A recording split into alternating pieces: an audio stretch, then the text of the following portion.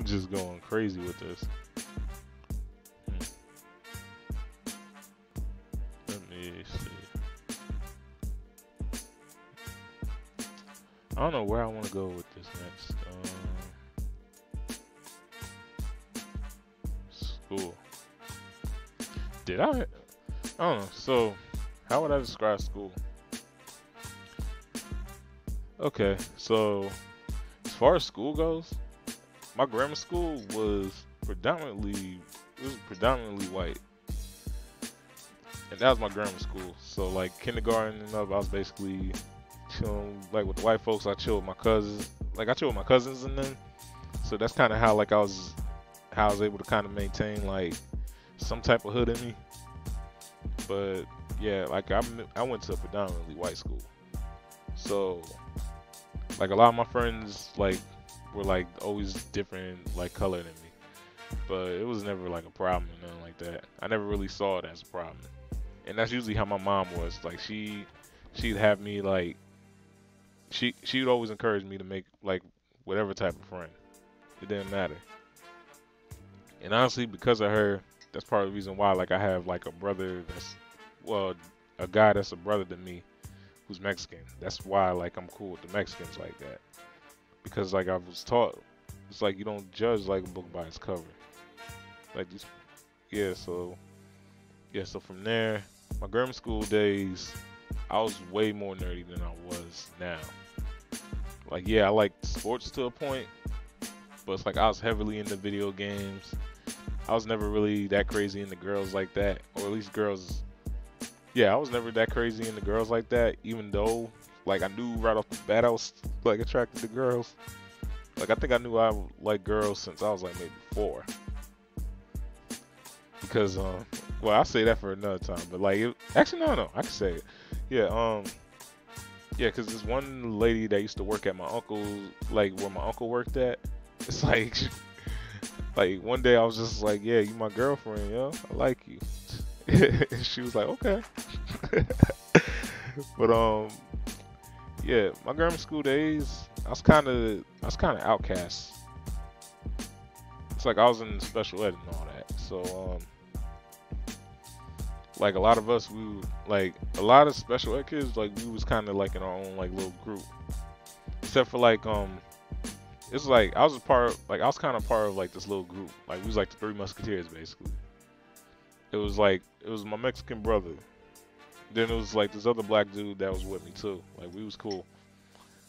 I wonder how you doing now I think about it. But yeah, anyway, um Yeah, we was like three musketeers. But thing was, um like um black dude, like homie, like he was um he was more accepted by everybody. Like dude was like the most popular guy like in school basically. Or like he if not, like he was like he was like six man popular. Like Jamal Crawford prop popular like in that sense. Like in the sense of like he come off the bench, you know who this guy was. It's like he was always good with sports. Like he was old, like dude was always getting girls and all that. Like I basically envy, I envied him at times. Like I'm not going front because I'll just be like, damn, I wish I had, like I wish I could get girls like this guy. Like I wish I could do this like this guy. But yeah, I was never like, I never, I never hated him for it. I'm never like held anything against him for it, like on the low. Because there's a lot of people that will like backstab you and all that, and I think that's why bro like always like respected me, because he knew like he knew deep down like I was a cool dude and that I would never like hurt him, like I'd never like try and gun for him and nothing like that. Yeah, so grammar school, like yeah, I was I was okay grade wise. I did okay. I did. I think I was like a maybe a B plus, like close to A student. So then we go to high school. High school was predominantly black. So I'm coming out of a predominantly white school. Like, like where I grew up, like my upbringing was somewhat better than like I went. Like I didn't live in the hood. Like I lived like maybe, I guess you could call it more of the town. Like you can't really even call it like a hood. Cause like it's like you go the closer you get to the boardwalk, the richer the houses get type of I mean, that's what like every place like around like Jersey kind of, but it was like especially there. Like it was it was extremely safe where I was at. So a lot of these guys really didn't like care that much about where I was from. They was like, yo, this dude like this and that. Like so they bully me. Not physically, because I guess like they already knew I was strong or whatever. But I guess I just didn't realize it, so they would just I don't know why I did that. But yeah, I guess they just realized like mentally I was weak. So they would attack on that. They was always attack on that. But yeah, but that's how like the whole basketball thing comes in the hand. Like basketball saved me. It kept me grounded. And it's like I'll just work hard no matter what I do. And eventually people slowly started respecting me. And even the ones that bullied me.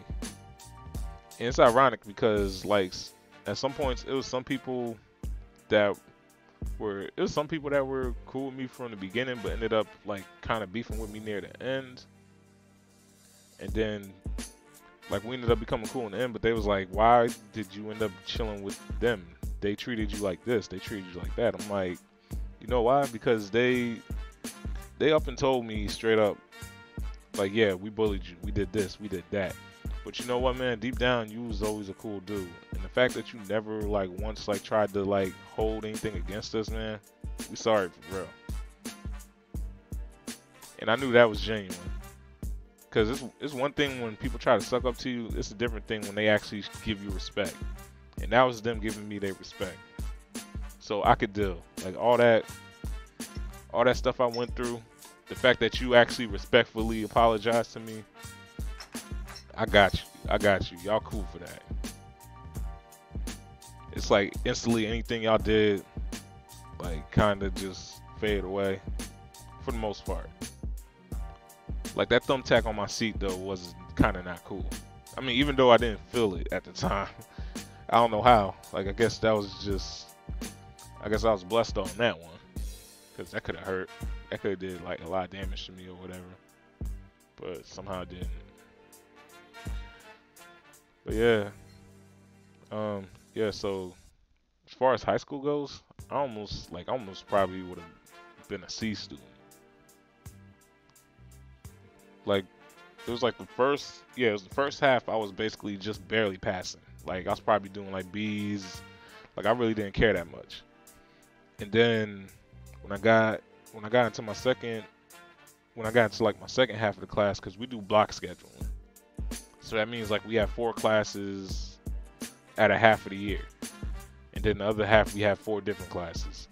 So the class I was in was like um I believe it was like an English reading class. No, yeah, no, no, no. It was like a writing class, I think. Yeah, because you had literature and then you had like this like writing slash reading class.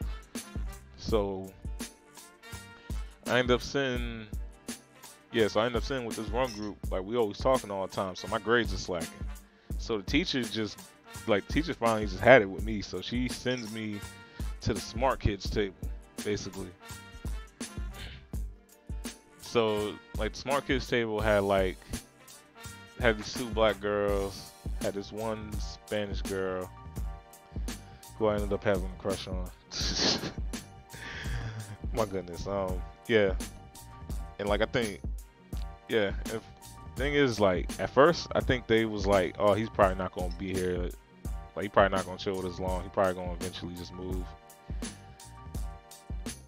Actually no, no, no. No, if I remember this right, they actually pushed me.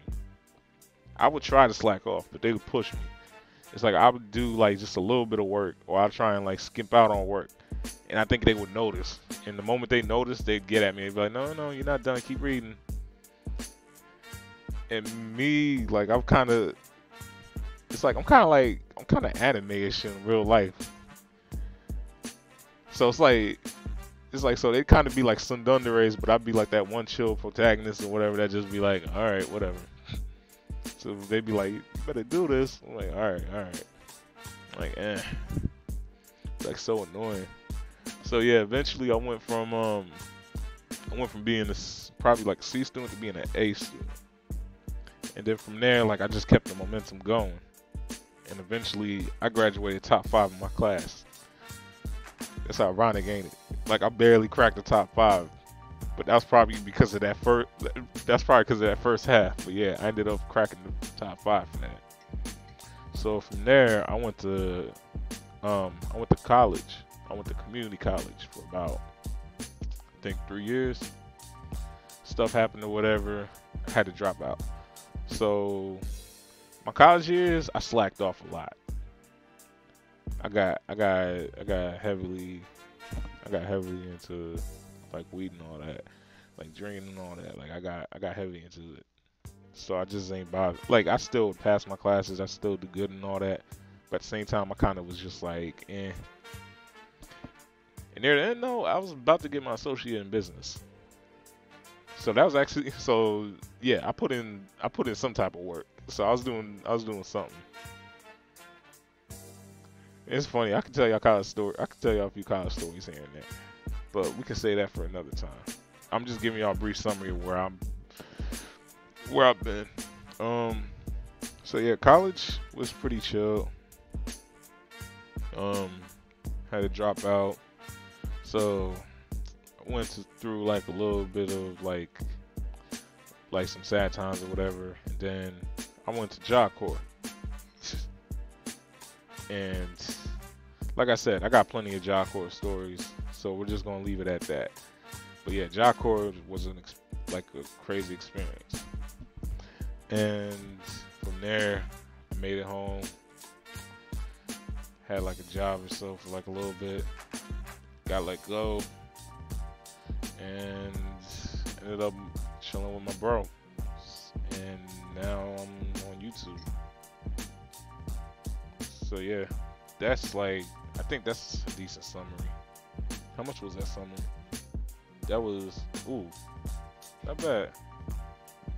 About 12 minutes summary. All right, so yeah, that's that's kind of me, like kind of like a little bit in a nutshell.